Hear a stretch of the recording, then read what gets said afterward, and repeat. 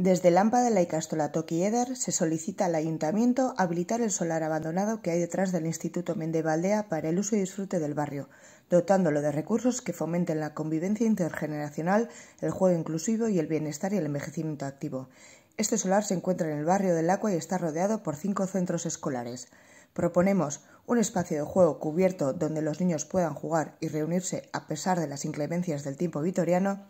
un circuito biosaludable donde nuestros mayores puedan realizar el ejercicio al aire libre, una zona de mesas y bancos de picnic y una zona recreativa que fomente un juego más libre e imaginativo